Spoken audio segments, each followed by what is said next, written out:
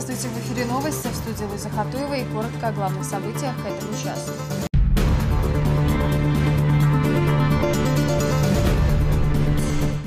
Реализация инвестиционных проектов и расширение поддержки малого и среднего бизнеса в Чечне. Рамзан Кадыров встретился с наследным принцем Абу-Даби. Всероссийский день матери отметят уже завтра.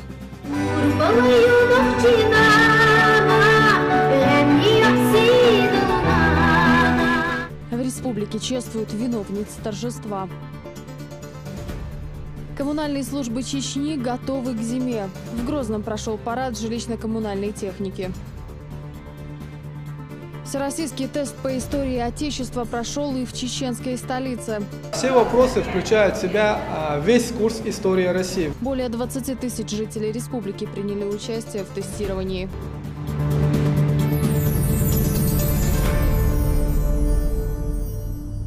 В Объединенных Арабских Эмиратах Рамзан Кадыров встретился с наследным принцем Абу-Даби, заместителем верховного главнокомандующего вооруженных сил страны, шейхом Мухаммедом бен Заедом Аль-Нахаяном. Во встрече принимал участие и руководитель инвестиционного фонда Абу-Даби шейх Тахнун бен Заед Аль-Нахаян.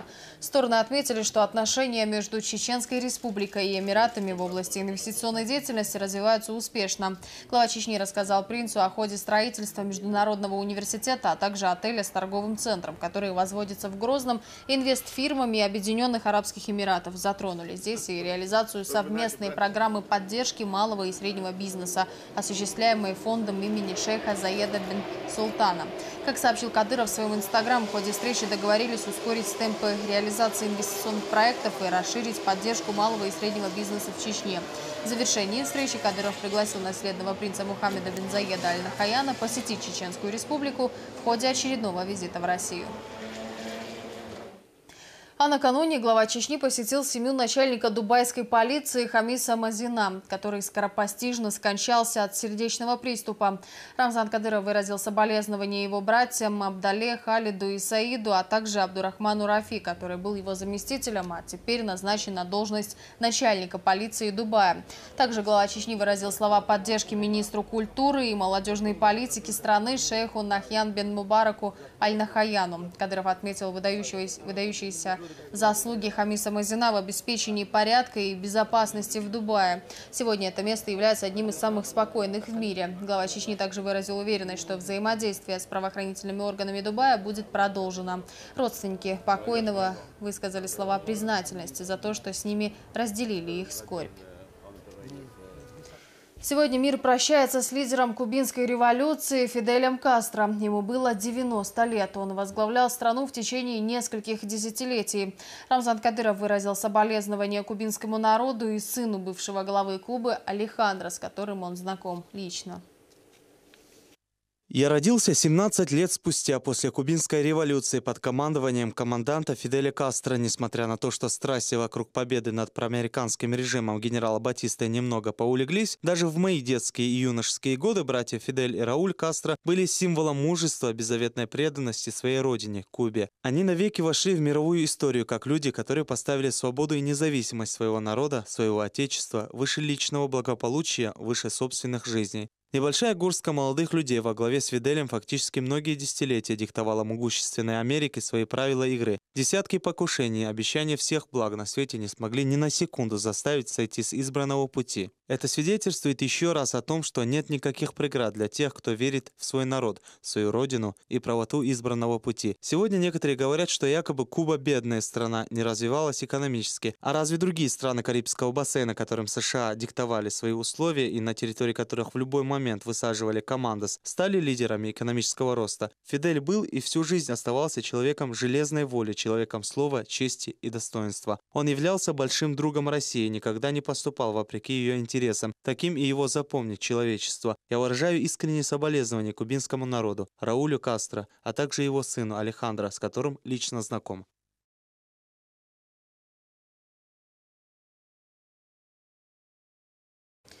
По всей стране скоро отметят День матери. Праздник относительно молодой, он берет свое начало с 1998 года и приходится на последнее воскресенье ноября.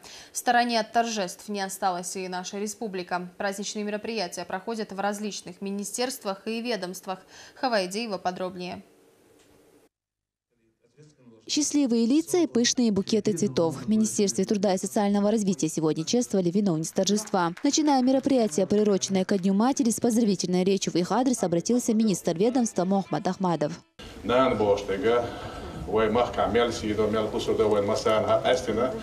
Ши пример циновой пачхол Рамзан Ахмадович, гойч ду нен си мунда диз, нен лара мухла биз, нан мел изи ю, тана шунано мел ду тоде, что шумел ду шудасарха ишаса шудал тухдаа дойл далла төлшо дала ирсе дар гулке ве маркат эм зам кицахуч сингаттан балхе махцабош ирсе дар гулже Здесь же состоялось награждение матерей, воспитавших достойных сыновей Отечества. Им были вручены почетные грамоты от главы республики. Также около 50 женщин, воспитавшие 9 и более детей, получили от регионального общественного фонда имени Ахмата Хаджи Кадырова денежные поощрения. Благодарственные письма и почетные грамоты от главы республики получили отличившиеся сотрудницы различных министерств и ведомств.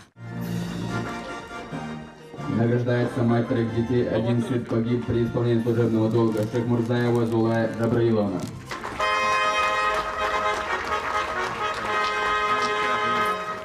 Среди награжденных сегодня и Луиза Пасхаева. За образцовое воспитание детей женщины вручили медаль «Ненан сий» «Материнская слава». Сыновья Луизы Умар Бувайсар и Хамид – многократные чемпионы мира по кикбоксингу. Соберешь чемпион, шхалар екса заслуги. В первую очередь э, Рамзан Ахмадович Кадыров. Спорта внимание уделите. Масса спорткомплекс яш, спортзал яш. Цан ваханча бахкинча соуч.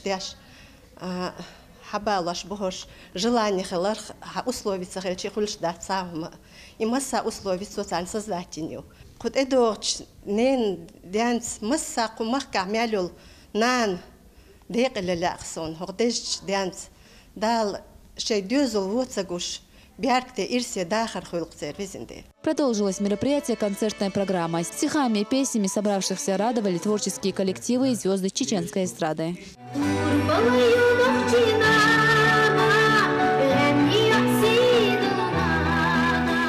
Также здесь подвели итоги конкурса «Фото с мамой». Победителю вручили телевизор. Каждый из присутствующих из зала ушел с хорошим настроением. Все они выражали благодарность за ежегодно оказываемое внимание организаторам мероприятия руководству республики.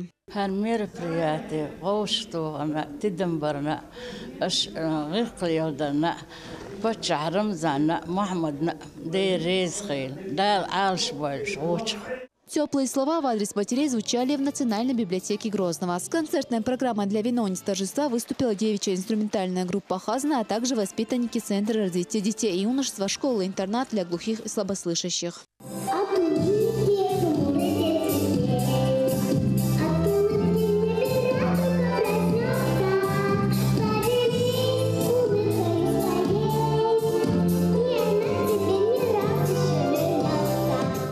Матерей чествовали в садике номер 54 «Седок». К знаменательному празднику дети подошли со всей ответственностью. Они подготовили сказочное представление для своих мам.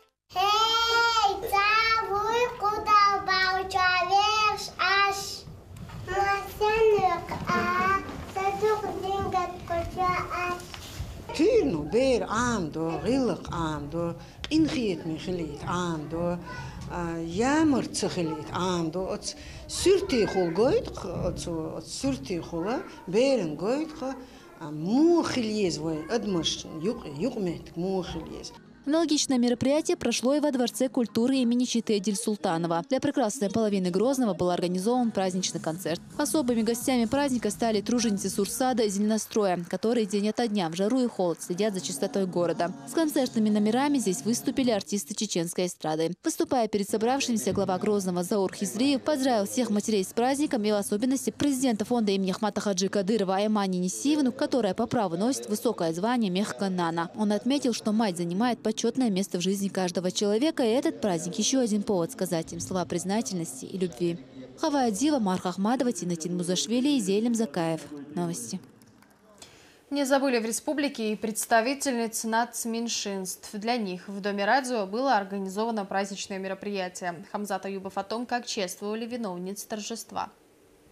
Зугра Тангатарова многодетная мать. У нее пятеро детей и 14 внуков. А совсем недавно она стала прабабушкой. Истинное счастье каждой женщины заключается в воспитании детей, считает Зугра. Как любая женщина, мне хотелось иметь э, многодетную семью. Я сама из многодетной семьи. У меня мама, папа родили, воспитали восьмерых детей, пятерых детей.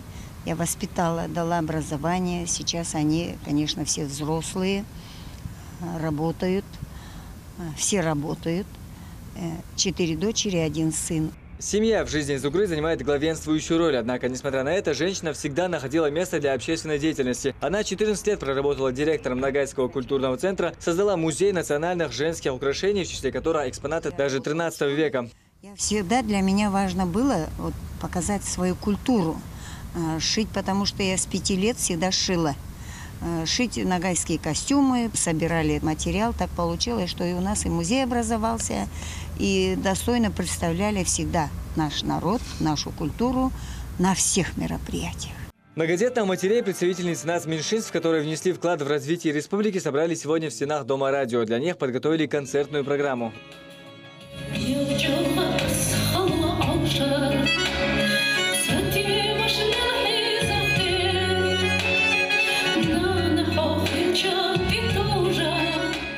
День матери в России начали отмечать относительно недавно. Государственный праздник установлен в 1998 году. Много теплых слов и добрых пожеланий в адрес матери было сказано здесь. Помимо этого, для виновниц торжества продекламировали стихи.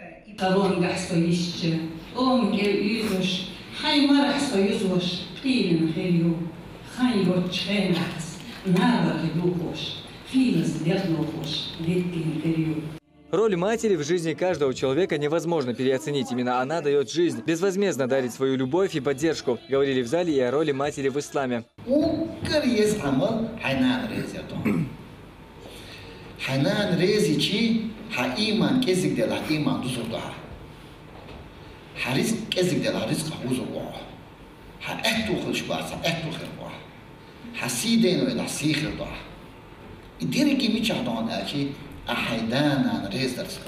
Ни одна женщина не ушла с праздника с пустыми руками. Каждой вручили цветы и ценные подарки. Хамзат Аюбов, Розана Цамаева, Луиза Юнусова. Новости. Отдельный праздник был организован и для матерей, чьи сыновья погибли, защищая законный порядок. Их собрали в самой популярной кондитерской города. Все затраты на проведение торжества взял на себя региональный общественный фонд имени Ахмата Хаджи Кадырова. Наш корреспондент продолжит.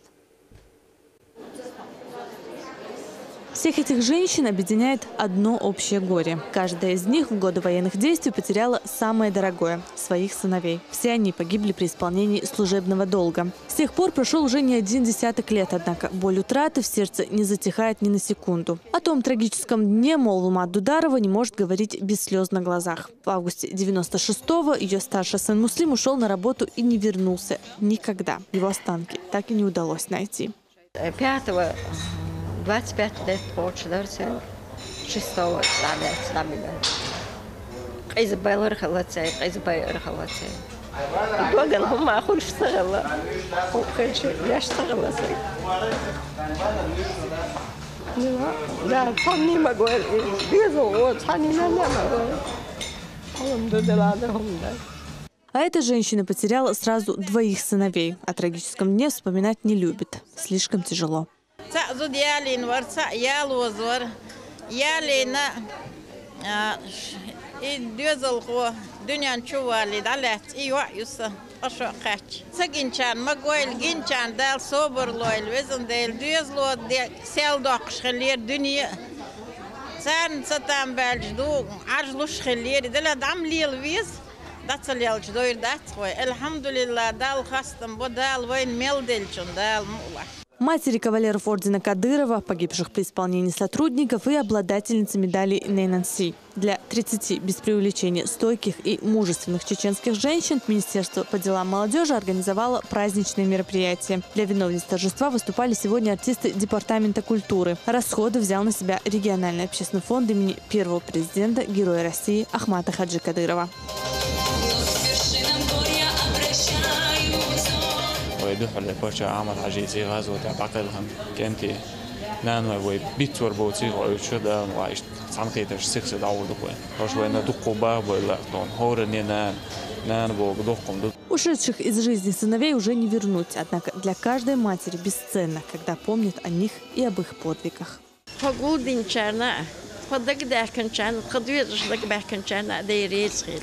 После завершения праздничной программы виновниц торжества, что называется, не отпустили с пустыми руками. Каждая женщина получила лакомство от кондитерской «Париж». Розана Цамаева, Шамиль Саламов и Дани Хавхаров. Новости. В Шелковском районе также отметили этот праздник. Особыми гостями мероприятия стали матери погибших сотрудников. С ними беседовал глава администрации. Женщинам вручили ценные подарки и букеты цветов. Вечер сопровождался концертными номерами. Артисты местной эстрады исполнили свои лучшие номера.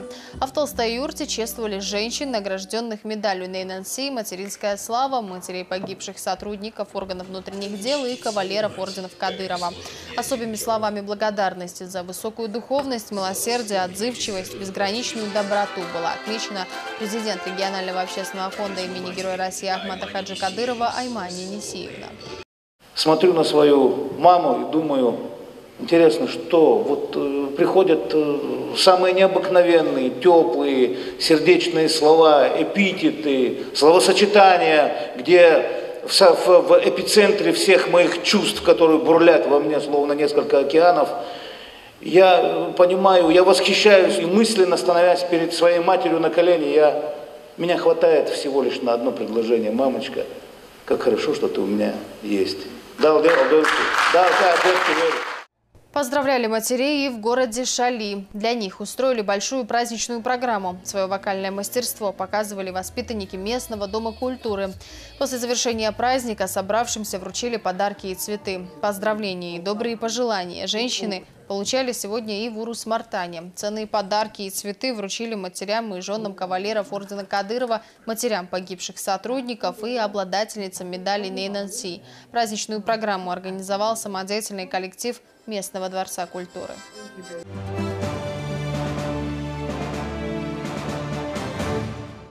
Коммунальные службы Чечни готовы к зиме. Жители столицы смогли в этом убедиться. В Грозном прошел парад жилищно-коммунальной техники. Более 50 снегоуборочных, очистительных и других специализированных машин колонны проехались по улицам города и остановились на центральной площади. Напомню, это часть большой всероссийской акции, которая прошла во всех регионах страны. Последнюю субботу ноября каждого года а, у нас а, проходит Всероссийский парад коммунальной техники. И а, в этой акции сегодня участвуют предприятия жилищно-коммунального комплекса Чеченской Республики. Мы выбрали ту технику, которая у нас значит, в основном задействована. И это не вся техника, которая находится в республике, естественно, только часть. Ну, а, это а, акция, направленная на популяризацию жилищно-коммунального хозяйства, на, чтобы показать возможности а, жилищно-коммунального комплекса. Парад коммунальной техники проводится с целью информирования населения о работе служб ЖКХ. Насчет предстоящей зимы можно не волноваться. Говорят, здесь все подготовительные работы уже проведены, а спецтехники хватит, чтобы справиться со среднегодовой нормой осадков. Всероссийский тест по истории Отечества прошел и в Грозном. Испытание было проведено в рамках федерального проекта «Каждый день горжусь Россией». В 75 регионах страны каждый желающий смог проверить уровень своих знаний. В Чеченской республике в тестировании приняли участие около 22 тысяч человек. Масштабный срез знаний проводится уже третий раз. Главными целями всероссийской акции является оценка исторической грамотности населения и мотивирование к получению знаний. Данный тест проходит на территории Российской Федерации и в 13 зарубежных странах. Это включая и Европы, а, это страны Северной Америки, это и страны СНГ. В тесте а, порядка 40 вопросов. А, все вопросы включают в себя весь курс истории России. В мае месяце мы проводили тест по истории Великой Отечественной войны.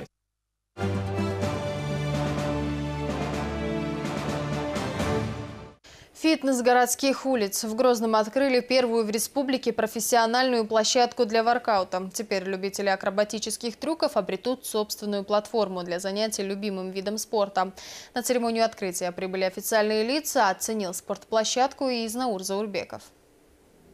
Турники, так называемые стенки, брусья – все, что необходимо для воркаута. Это первая подобная профессиональная площадка в Чеченской Республике. На официальную церемонию открытия прибыл и министр по делам молодежи.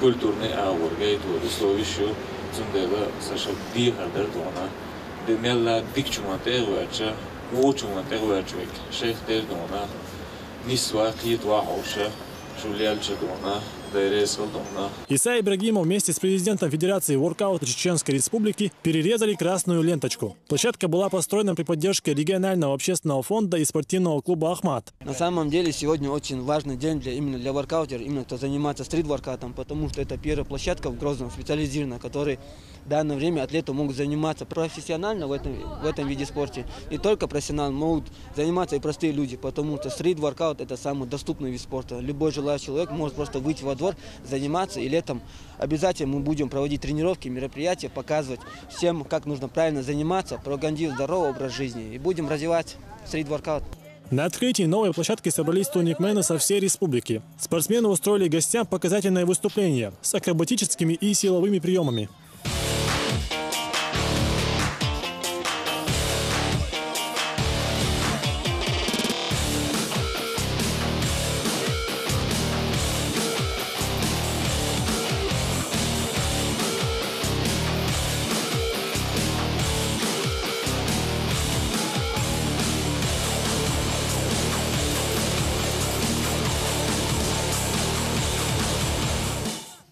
Опробовать новую площадку пришли близнецы Ислам и Исмаил Али Султановы. Братья давно занимались на турниках. Семь месяцев назад ребята узнали о том, что в республике есть федерация воркаута и присоединились к ним.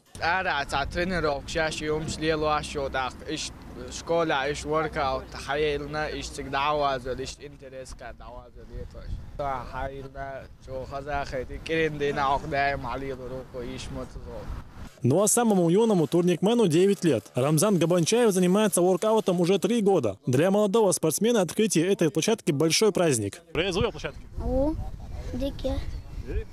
Занимается дридой, а когда я? Да. На новой площадке помимо спортсменов смогут тренироваться и любители. Теперь у турникменов республики есть место, где возможно проводить турниры по воркауту. Из Наур Заурбека, Шамиль Саламов и Луиза Юносова. Новости.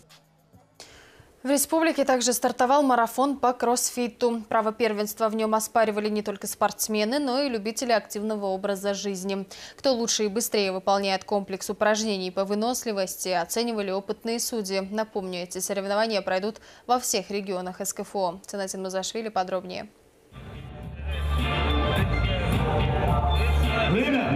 Кроссфит или иными словами убойный тренинг. Профессиональные спортсмены и любители здорового образа жизни попробовали на себе этот комплекс упражнений. Региональный переходящий кубок «Меняйся в спорте» разыграли в Грозном. Вся молодежь, практически все население в спортзалах. У нас несколько бойцовских клубов. Есть э, очень много спортивных залов, комплексов и так далее. Практически во всех муниципальных районах и населенных пунктах республики. И вот это движение, оно больше объединяет тех людей, которые занимаются различными видами спорта.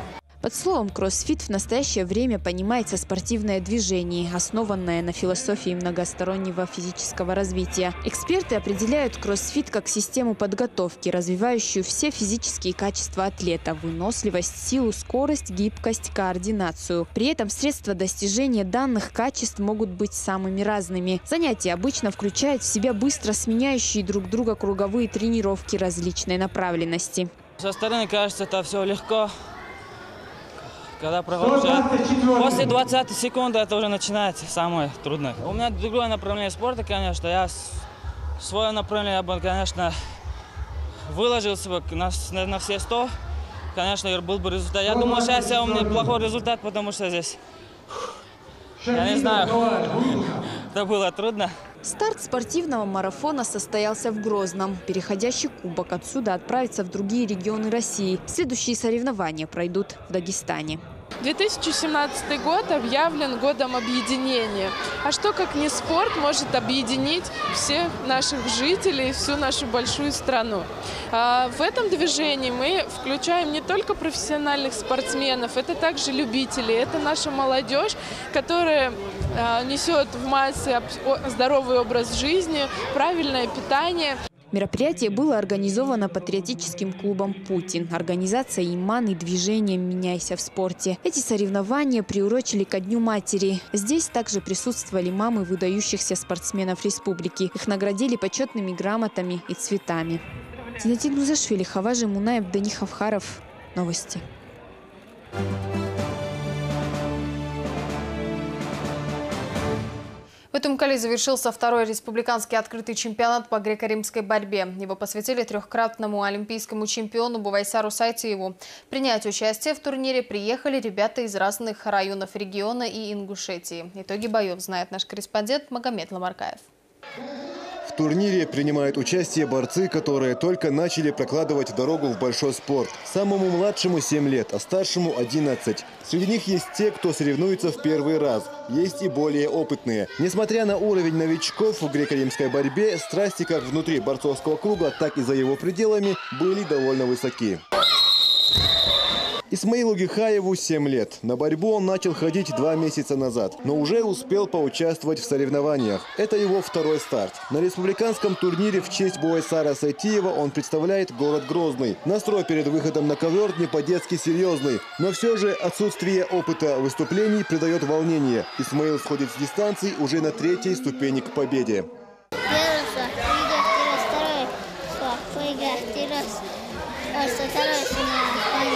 На открытый турнир приехало около 100 спортсменов из разных районов Чечни и Ингушетии. Тренеры привезли в Итумкали лучших своих воспитанников в восьми весовых категориях. Все в один голос говорят о важности проведения детских соревнований для воспитания достойного подрастающего поколения и пропаганды спорта. Это допинг для детей, чтобы, им, чтобы они ходили на эту борьбу, чтобы занимались. Вы видите, все-таки это мужественный вид спорта. Вы видели там мелкие травмы, но они дети не сдавались, боролись. И какая большая радость у этих детей. Сейчас они домой поедут, расскажут, что они боролись, что он выиграл. Ну что, ребенка, для него это 2005-2007 год, это для них как Олимпиада можно считать. Это большой стимул, это толчок большой ребенок будет ходить на тренировки. Мы приехали с Ингушетии, привезли 12 человек во всех весовых категориях. Не приехать мы не могли на такое мероприятие. У нас братские отношения. Это будущее нашей борьбы. Для них э, вообще мало соревнований по России. Поэтому для них больше в вашей республике очень часто это подводит. Поэтому результаты очень хорошие. Республиканский турнир в честь трехкратного олимпийского чемпиона Бувайсара Сайтиева организован по инициативе Фонда поддержки физической культуры региона и Федерации спортивной борьбы Чечни. Они отмечают, что в будущем намерены расширить масштабы и привлечь к турниру еще и взрослую категорию участников. Была такая задумка провести турнир именно э, имени Бувайсара Сайтиева в связи с тем, что э, он э, все-таки наш земляк. В Красноярске, в России и за границей проводится данный турнир. Но мы хотели этим подчеркнуть, что мы уважаем нашего земляка, мы ценим его, и мы признаем действительно достоинство его как спортсмена. Буайсар Сайтиев – легенда вольной борьбы. А сегодняшние соревнования проходят по греко-римской. Хотя классический вид не является базовым для трехкратного олимпийского чемпиона, его любят и уважают представители практически всех спортивных направлений. И по этой причине каждый спортсмен сегодня особенно мотивирован.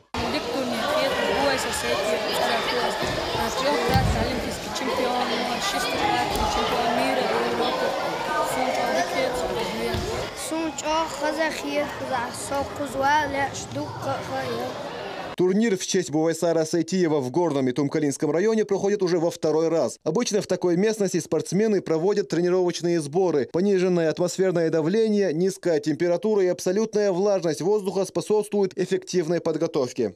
То, что у нас появилась такая возможность э, проводить такой значимый турнир – можем принять такое количество спортсменов, представить условия для проведения турнира. За это надо, конечно, в первую очередь сказать большое спасибо Лере Исхуиловой Бачан Рамзан Ахматович Кадырову. Данный спортзал у нас, он еще с 2007 года открытый. Но вот, вот такое массовое распространение спорта, спортивной борьбе именно вот с вводом с началом проведения данного турнира в нашем районе. Турнир завершился награждением. Для кого-то победа сегодня стала первой, но, как уверены наставники, далеко не последней. Магомед Ламаркаев, Юнади Шалаев, Иса Далаев и Луиза Юнусова. Новости. На Ахмат-арене прошел матч между Тереком и московским «Спартаком». На протяжении всей игры мячом владели наши футболисты. Пропустив гол от защитника «Спартака» Маурисио в первом тайме, наши игроки сразу же провели несколько опасных атак, которые, к сожалению, не увенчались успехом. Во второй половине встречи инициатива также была на стороне игроков Терека. Наши футболисты держали мяч у ворот противника на последних секундах. Даже вратарь Терека был в числе атакующих. Но матч завершился со счетом 1 0 в пользу «Спартака». Несмотря на проигрыш, Терек завершил первый круг чемпионата в пятерке лидеров. Следующую игру наши футболисты проведут с Краснодаром 1 декабря. На этом все. Спасибо за внимание и хороших вам новостей.